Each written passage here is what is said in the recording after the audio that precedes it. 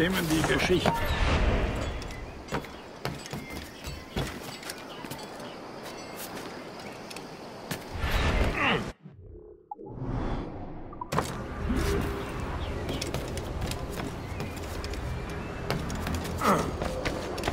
Stimmen die Geschichten über euch, Senor?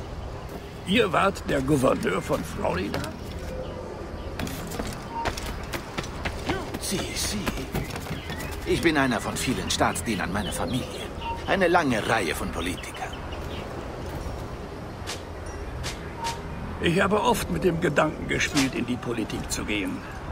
Doch ich denke, dafür habe ich viel zu viel Geld und viel zu wenig Zeit. Apropos Geschichten, Prinz. Man erzählt sich, ihr wart bei Henry Morgans Überfall auf Panama dabei. 1671, korrekt? Oh, das stimmt, ja. Doch lasst uns die Ehre, die auf dem Schlachtfeld errungen wird, nicht überbewerten.